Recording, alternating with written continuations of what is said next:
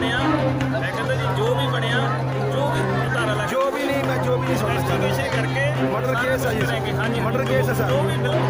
15 ਤਰੀਕ ਦੀ ਗੱਲ ਹੈ ਰਾਤ ਦੀ। ਹੁਣ ਤੱਕ ਇਹਨਾਂ ਨੇ ਕੁਝ ਨਹੀਂ ਕਰਿਆ। ਹੁਣ ਤੱਕ ਲਾਰੇ ਲੱਭੇ ਲਾ ਰਿਹਾ ਅੱਜ ਵੀ ਕਹਿੰਦੇ ਅਸੀਂ ਪ੍ਰੂਫ ਲੱਭ ਰਿਹਾ ਲੱਭ ਰਿਹਾ, ਬੰਦੇ ਗ੍ਰਿਫਤਾਰ ਕਰ ਰਿਹਾ ਕੁਝ ਨਹੀਂ ਹੋ ਰਿਹਾ, ਅਸੀਂ ਸਾਰੇ ਪਰੇਸ਼ਾਨ ਹੋ ਰਹੇ। ਚਮਕੌਰ ਸਾਹਿਬ ਇਲਾਕੇ ਤੋਂ 4 ਦਿਨ ਪਹਿਲਾਂ 28 ਸਾਲਾ ਪਵਨ ਕੁਮਾਰ ਦੇ ਲਾਪਤਾ ਹੋਣ ਤੋਂ ਬਾਅਦ ਉਸ ਦੀ ਲਾਸ਼ ਸਰਹੰਦ ਨਹਿਰ ਚੋਂ ਮਿਲਣ ਕਰਕੇ ਮ੍ਰਿਤਕ ਪਵਨ ਦੇ ਪਰਿਵਾਰ ਨੇ ਥਾਣੇ ਵਿੱਚ ਹੰਗਾਮਾ ਖੜਾ ਕਰ ਦਿੱਤਾ। ਪਰਿਵਾਰ ਨੇ ਦੋਸ਼ ਲਗਾਏ ਨੇ ਕਿ ਪਵਨ ਜਿਨ੍ਹਾਂ ਦੇ ਘਰ ਮਜ਼ਦੂਰੀ ਕਰਦਾ ਸੀ, ਉਹ ਬੰਦੇ ਉਸ ਨੂੰ 6 ਮਹੀਨਿਆਂ ਤੋਂ ਤਨਖਾਹ ਨਹੀਂ ਦੇ ਰਹੇ ਸੀ, ਪਰ ਜਦੋਂ ਉਹ ਤਨਖਾਹ ਲੈਣ ਗਿਆ, ਤਾਂ ਪਵਨ ਨਾਲ ਮਾਰਕੁੱਟ ਕੀਤੀ ਗਈ ਅਤੇ ਉਸ ਦਾ ਮਰਡਰ ਕਰ ਦਿੱਤਾ ਗਿਆ। ਪਰਿਵਾਰ ਨੇ ਕਿਹਾ ਕਿ ਪਵਨ ਦੀ ਲਾਸ਼ ਮਿਲਣ ਤੋਂ ਬਾਅਦ ਵੀ ਪੁਲਿਸ ਵੱਲੋਂ ਕੋਈ ਕਾਰਵਾਈ ਨਹੀਂ ਕੀਤੀ ਗਈ ਜਿਸ ਦੇ ਤਹਿਤ ਮ੍ਰਿਤਕ ਦੇ ਪਰਿਵਾਰ ਨੇ ਪੁਲਿਸ ਪ੍ਰਸ਼ਾਸਨ ਖਿਲਾਫ ਨਾਅਰੇਬਾਜ਼ੀ ਕੀਤੀ। ਸਰ ਜੀ ਇਹ ਜਿਹੜਾ ਨਕ- ਅਹ ਨਕ- ਨਕਲ ਕੀ ਕੀ ਕਾਰਨ ਸੀ? ਪਤਾ ਜੀ ਨਾਲ ਗੁੰਮ ਹੋ ਗਿਆ ਸੀ। ਬੰਦਾ ਗੁੰਮ ਹੋਣ ਤੇ ਰਾਤ ਦੀ ਡੈਡ ਬੋਡੀ ਮਿਲੀ ਹੈ ਇਨਵੈਸਟੀਗੇਸ਼ਨ ਚੱਲ ਰਹੀ ਹੈ। ਇਨਵੈਸਟੀਗੇਸ਼ਨ ਕੁਝ ਵੀ ਸਾਰਿਆਂ ਨੂੰ ਚੱਲ ਰਹੀ ਹੈ। ਜੋ ਵੀ ਹੋਊਗਾ ਸਾਹਮਣੇ। ਪਰਚਾ ਕਿਹੜਾ ਹੋਊਗਾ ਸਰ?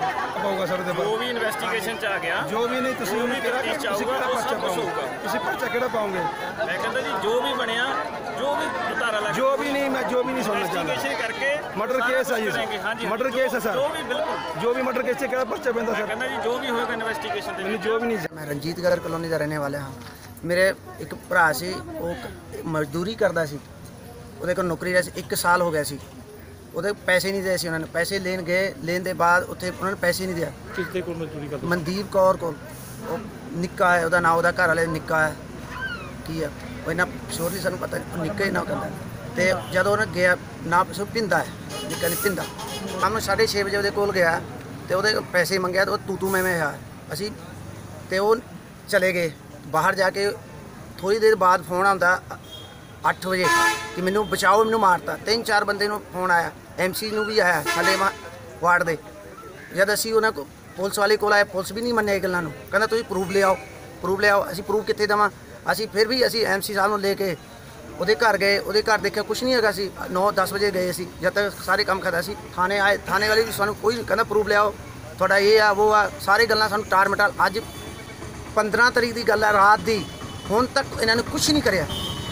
ਹੁਣ ਤੱਕ ਲਾਰੇ ਲੱਪੇ ਲਾ ਰਿਹਾ ਅੱਜ ਵੀ ਕਹਿੰਦੇ ਅਸੀਂ ਪ੍ਰੂਫ ਲੱਭ ਰਿਹਾ ਲੱਭ ਰਿਹਾ। ਬੰਦੇ ਗ੍ਰਿਫਤਾਰ ਕਰ ਰਿਹਾ ਕੁਝ ਨਹੀਂ ਹੋ ਰਿਹਾ। ਅਸੀਂ ਸਾਰੇ ਪਰੇਸ਼ਾਨ ਹੋ ਰਹੇ, ਬੱਚੇ ਦੀ ਡੈੱਡ ਬੋਡੀ ਵੀ ਮਾਰ ਮਾਰ ਕੇ ਉਹ ਬੱਚੇ ਦੀ ਬੁਰਾ ਹਾਲ ਕਰਿਆ ਵਾ ਅਸੀਂ ਨਹਿਰ 'ਚ ਉਹਨੂੰ ਲੱਭਿਆ।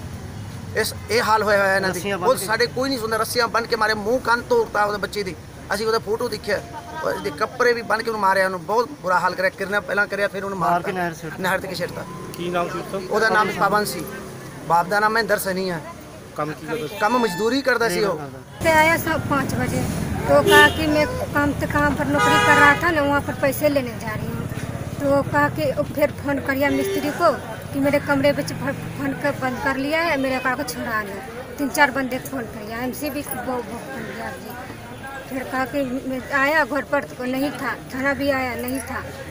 वो रिपोर्ट भी नहीं लिखिया। कहा कि रिपोर्ट पहले पूरा फैसला करो पहले पहले अथी करो तभी रिपोर्ट लिखेंगे। अब क्या करना चाहते हैं? ये मेरा बंदा चल गया तो मांग क्या करेंगे? मेरे को, को उसको फांसी चाहिए। इंसाफ चाहिए मेरे को